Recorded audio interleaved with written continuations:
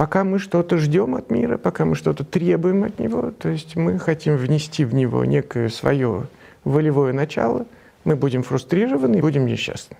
Соответственно, только когда ты принимаешь мир, ты можешь быть счастлив. Соответственно, ты должен принять этот мир. Но принять все, что в нем происходит, не понимая, невозможно. И только когда ты его понимаешь, только когда для тебя он становится ясным, ты не будешь искать ни демиурга, дьявола какого-то разрушителя.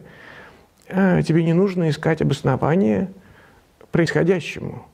Тебе не нужно искать движитель, который заставляет мир двигаться и двигает его таким образом. Ты понимаешь его как бы, естественность, его неизбежность, его абсолютность в этом смысле –